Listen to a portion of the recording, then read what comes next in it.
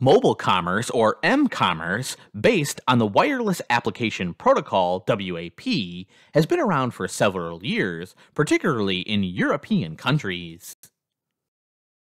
M-commerce is the use of handheld devices to conduct business transactions, such as making stock trades with an online brokerage firm.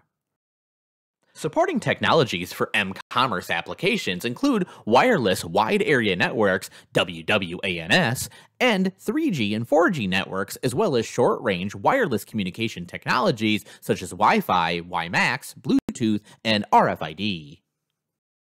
Many telecommunication companies offer web-ready cell phones.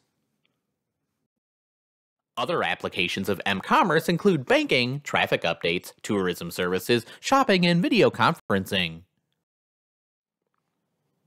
Well, you can already use a mobile phone to access a website and order products. The next step is voice-based e-commerce, which relies on voice recognition and text-to-speech technologies that have improved dramatically in the past decade. Several voice protocols are already available, including Nuance, Internet Speech, and Google Voice.